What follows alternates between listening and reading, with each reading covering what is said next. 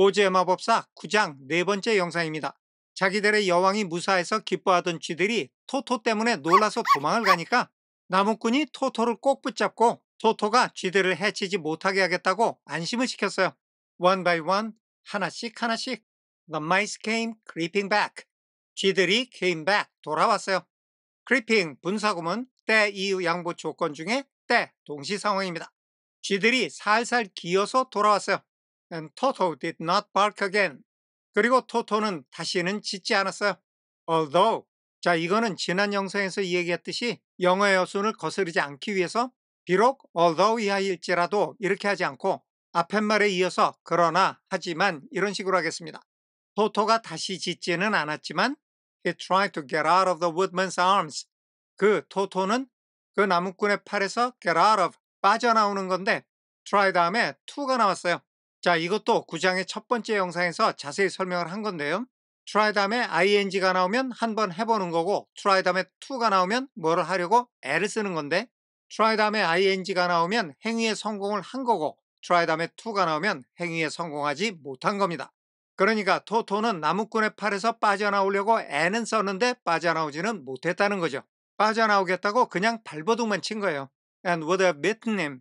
주어인 he, 토토가 동사 1번 tried, 동사 2번 would have bitten. bit는 bite의 과거 분사니까 그 나무꾼을 토토가 물었다는 게 일단 여기까지의 내용이죠. had not known very well. 자, 이 부분이 구조가 조금 특이해서 따로 설명하겠습니다. 우선 결론부터 얘기하면 이 문장은 가정법 과거 완료인데요. 가정법 과거 완료의 형식은 주어 다음에 would, could, should, might라는 조동사 중에 하나와 have pp 완료형이 결합이 되는 겁니다. 그러면 이 주절에 would have pp가 여기 나와 있는 거죠. 그런데 had he not known very well 여기에 보면 가정법 과거 완료의 조건절에 붙는 if가 여기는 없어요. 지금 if는 생략이 된 겁니다. 이렇게 if가 생략이 되면서 조동사 had가 주어 앞으로 나가서 had 주어 pp 이렇게 된 거예요. 이게 우리 문장에서 had he not known 이렇게 된 건데 여기에 not가 들어가서 부정의 뜻이 된 겁니다. 자 이제 이 문장이 가정법 과거 완료의 형식이라는 것은 알았어요. 이제 본문을 가정법 과거 완료의 의미로 해석을 해보면 만약에 그 토토가 아주 잘 알지 못했더라면 토토는 그 나무꾼을 물었을 거예요. 이렇게 되는 거죠. 그러니까 이 부분을 if가 있는 문장으로 풀어 쓴다면 If he had not known very well, he would have bitten him. 이렇게 된다는 겁니다. 여기서 토토가 뭔가를 잘 몰랐다는 건데 뭘 몰랐다는 거냐? 생략된 that 이하를 몰랐다면 이렇게 되는 거죠. It was made of tin. tin은 양철 나무꾼이고 make of는 무엇 무엇으로 만든다는 뜻이에요. make of tin은 양철로 만든다는 건데 was made 수동태예요. 그 나무꾼이 양철로 만들어졌다는 것이고 그것을 토토가 잘 알지 못했더라면 토토는 양철 나무꾼을 물었을 거라는 겁니다.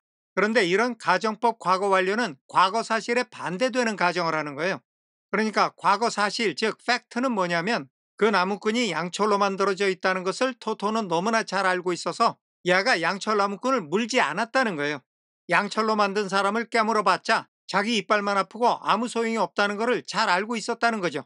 그런데 이거를 뒤집어서 가정을 해본 겁니다. 양철 나무꾼이 양철로 만들어져 있다는 것을 토토가 잘 몰랐다면 어떻게 됐을까? 아마도 그랬더라면 토토가 저 나무꾼을 물었겠지? 왜 이런 가정을 해요? 나무꾼한테 잡힌 토토가 너무나 심하게 몸부림치는 것을 보고 생각해낸 가정이에요. 어휴 저러다 깨물겠네라는 데서 비롯된 가정인 거죠. 어쨌든 토토는 나무꾼의 품에서 벗어나지도 못했고 나무꾼을 깨물지도 못한 겁니다. Finally, one of the biggest mice spoke. 마침내 가장 큰 쥐 중에 한 마리가 말을 했어요. 정리하겠습니다. 그 쥐들은 하나씩 하나씩 살살 기어서 돌아왔고 토토는 다시 짖지 않았습니다. 하지만 토토는 나무꾼의 팔에서 벗어나려고 몸부림을 쳤고 그 나무꾼이 양철로 만들어져 있다는 것을 토토가 잘 몰랐다면 나무꾼을 물려고 했을지도 모를 정도였습니다. 마침내 가장 큰 쥐 하나가 말했습니다. Is there anything? 의문문이죠. 무언가 있나요? That 이하와 같은 무언가 we can do. 우리가 할 수 있는 무언가가 있나요? It asked. 가장 큰 쥐가 물었어요. To repay you. 당신한테 보답을 한다는 건데 to repay. 부정사의 부사적용법 중에 목적입니다. 당신에게 보답하기 위해서 우리가 할 수 있는 일이 뭔가 있나요? for saving the life of our queen.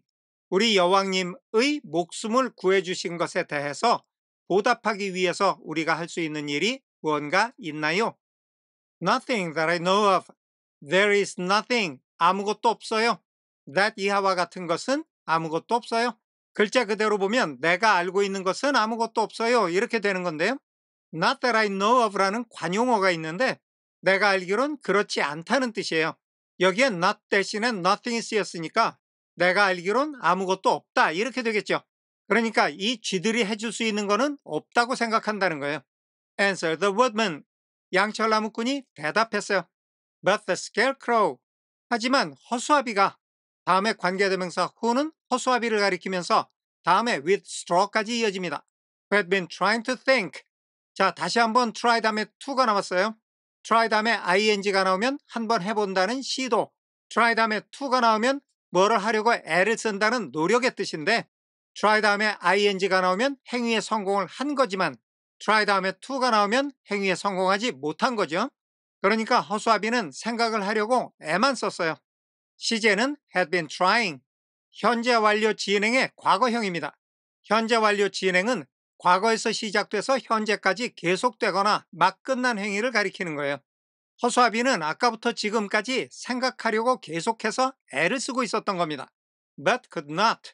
주어인 who, 즉 허수아비가 동사 1번 had been trying, 동사 2번 could not, could not think가 생략이 된 거죠. 허수아비가 생각을 할 수 없었어요. 자, try 다음에 to가 나오면 행위에 성공하지 못하는 거라고 그랬는데요. 여기 두 번째 동사에서 행위에 성공하지 못했다는 것을 확실하게 보여줍니다. Because his head was stuffed with straw. 허수아비가 생각을 하려고 계속 노력을 했는데도 생각을 하지 못한 이유가 뭐냐면 허수아비의 머리는 지프로 was stuffed with 채워져 있었기 때문이었어요. 얘는 머릿속에 뇌가 있지 않고 지푸라기만 있기 때문에 생각을 하려고 계속 노력을 했지만 생각을 못했다는 겁니다. said quickly. 허수아비가 재빨리 말을 한 거예요. Oh yes. Yes, there is one thing you can do가 생략이 된 거예요. 맞아요. 당신들이 할 수 있는 게 하나 있어요. You can save our friend the cowardly lion. 당신들은 우리의 친구인 겁쟁이 사자를 구해줄 수 있어요. 그러니까 겁쟁이 사자를 구해달라는 거죠. 다음에 관계대명사 who는 겁쟁이 사자를 가리키면서 문장 끝까지 이어지는데요. 그 겁쟁이 사자는 양귀비 꽃밭에서 자고 있어요. 한마디로 잠자는 우리의 친구를 구해달라는 얘기인데 여기가 상당히 아이러니컬한 장면이에요. 텍스트의 내용은 분명히 허수아비가 생각을 하려고 애를 썼지만 생각을 못했다고 돼 있어요. 그런데 쥐들이 딱히 해줄 수 있는 게 없다고 쉽게 대답한 양철나무꾼과 달리 허수아비는 아, 이 친구들이 도와주면 사자를 살릴 수가 있겠구나라는 생각을 했다는 거예요. 허수아비는 두뇌가 없고 거기 다 지푸라기만 있기 때문에 아무 생각도 할 수가 없는 존재예요.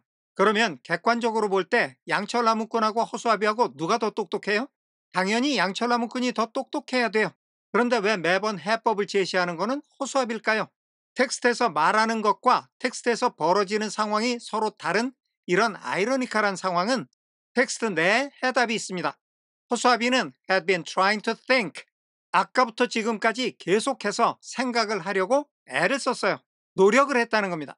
머리는 좋은데 머리만 믿고 까불다가 점점 성적이 떨어지는 애들이 있는가 하면 머리는 썩 좋지 않지만 꾸준히 노력을 해서 점점 성적이 올라가는 애들이 있잖아요. 허수아비는 자기 머리에 뇌가 없다는 걸 알아요. 즉, 자기가 머리가 좋지 않다는 것을 알아요. 그런데 허수아비는 그렇다고 생각하는 것을 포기한 적이 없다는 겁니다. 허수아비가 매번 기발한 아이디어로 일행을 위험에서 구해낸 것은 자기의 약점을 알면서도 포기하지 않고 끝까지 노력했기 때문이라는 겁니다. 우리 채널에서는 이 소설을 어린이용이라고 간주해서 보고 있는데요. 바로 이런 점이 이 소설을 보는 어린이들에게 소중한 교훈이 될 거예요. 물론 성인들도 포함이 되긴 합니다. 이렇게 노력 끝에 얻어진 허수아비의 지혜는 앞으로도 더욱 빛을 발하게 됩니다. 정리하겠습니다. 내가 알기로는 없는데요. 양철나무꾼이 대답했습니다. 하지만 허수아비는 아까부터 생각을 하려고 애를 썼지만 머리가 지프로 채워져 있기 때문에 생각을 하지 못하고 있다가 재빨리 말했습니다. 아, 여러분들이 해줄 수 있는 일이 하나 있어요. 양귀비 꽃밭에서 자고 있는 우리의 친구 겁쟁이 사자를 구해주세요. 오늘은 여기까지 하겠습니다. 감사합니다.